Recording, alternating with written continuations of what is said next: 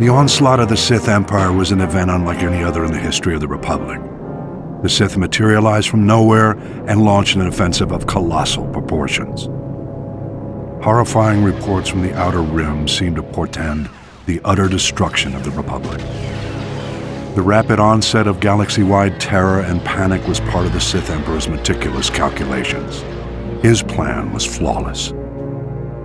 Sith battlecruisers first appeared on the fringes of the Tingel Arm. Unaware of the ship's origins, we dispatched a diplomatic convoy with a small starfighter escort. The Emperor wanted us to witness the full might of his forces before he attacked. The diplomats had just enough time to transmit images back. Then they were annihilated. Immediately thereafter, the Sith began a full assault on the Republic allies in the Aparo sector, which fell before the Republic fleet even arrived. Then our allies turned on us. The Sith had secretly established puppet governments on Belkadan, Sernpidal, and Ruria.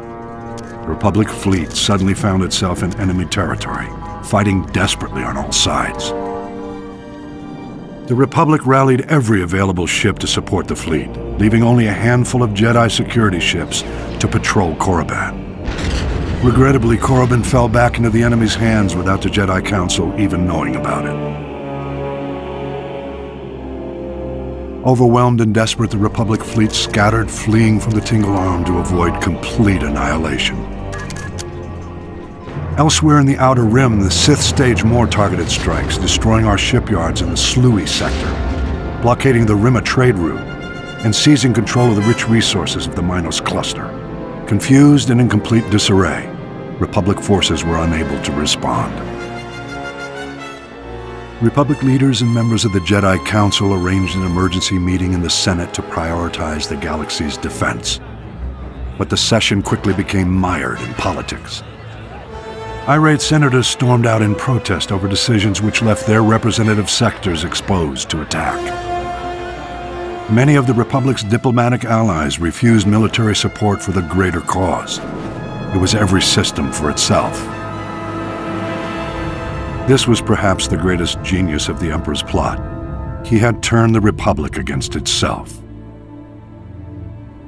While the Republic played politics, the Emperor used the time to reconfigure his forces for the long push into the galactic core.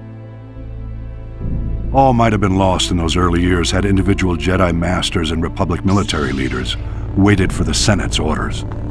By taking matters into their own hands, they managed to slow the Empire's advances.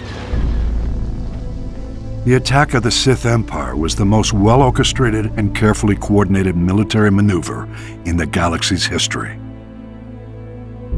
Indications suggest the operation took centuries of planning and preparation.